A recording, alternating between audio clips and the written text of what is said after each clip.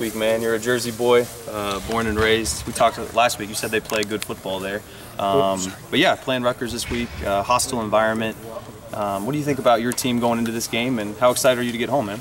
Uh, it's a very exciting experience. Um, anytime you get to go and play some familiar faces, that's a good thing. But um, as a team, we're just taking this as a great challenge, and we just can't wait.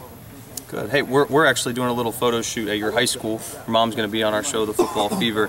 Um, are we going to see some uh, Eli Apple banners at your high school? What, what, what do we expect? Um, we're gonna there might be a couple of those, but um, nothing crazy though. Nice, man. Hey, Gareon Conley's done a nice job opposite of you, but you're you're really the, the leader uh, when we talk about the defensive back position. What's it been like to kind of assume that role, and, and can you kind of describe your guys' relationship as well as just assess your play thus far?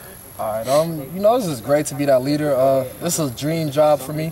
Uh, you know, being a part of the Buckeyes and being able to have guys look up to me. So I mean, me and Gary, we've really been working hard together. Like I said, uh, you know, we're always, you know, talking football. He's my roommate, so um, I mean, he's always been my roommate since I've been here. So we've always just, you know, talk football. We're really starting to grow together and uh, really become a great tandem, and that's something that we got to keep continuing. How heavily recruited were you by Rutgers, and how much did they want you to come there, being a New Jersey kid and not letting you get out of state? Uh, I mean, it was.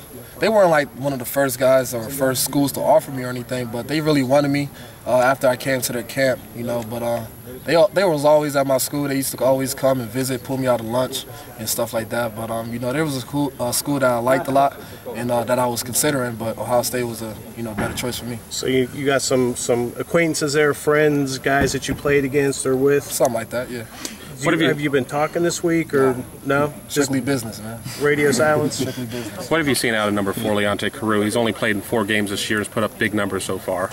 Uh, Carew, he's definitely one of the um, you know most dynamic receivers in the country for sure. He's uh, he's somebody with some uh, great skill set.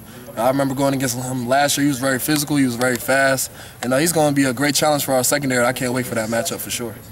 They're not sure if he